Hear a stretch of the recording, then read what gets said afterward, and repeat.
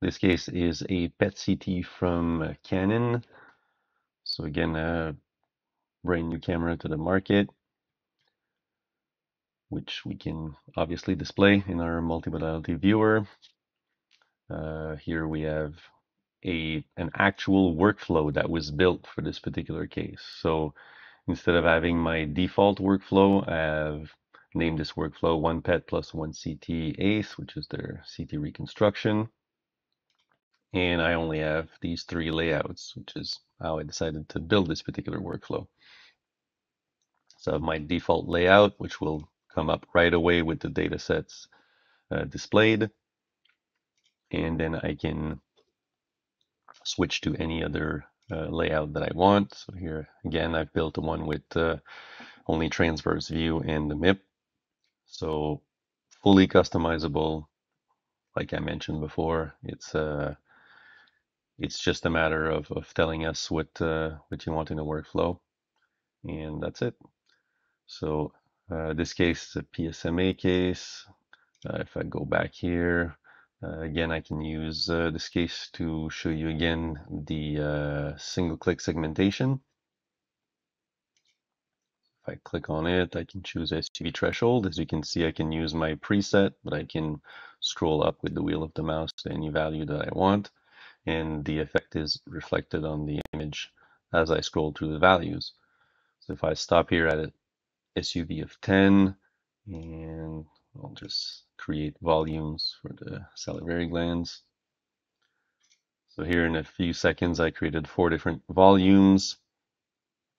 If I want to see the statistics of those volumes and I, and I don't have in this particular workflow a layout with the stats uh, box, I can simply hover above the regions that I've created and it will give me my values uh, overlaid on the image.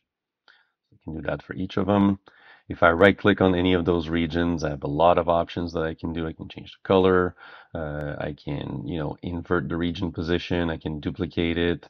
I can get from a region, I can use that region as a reference and calculate a smaller region uh, for the metabolic peak or the MTV. I can split that region to smaller volumes. I could use that region as a reference for SUVR, uh, delete it, rename it, and of course I can export it as a DICOM segmentation uh, to, to keep it for a future comparison. Those are my options. Obviously, there are many ways to create volumes of interest, uh, like the ellipsoid. We can do a 2D uh, ellipse as well. We can do a new paintbrush. So that would be manual mode where you can manually draw a region and then skip over a few slices and then draw again. And the software will interpolate between the regions that I've drawn. So as you can see, it does a very nice job to do the interpolation. Since we're looking at different tools, uh, let's look at uh, measurements.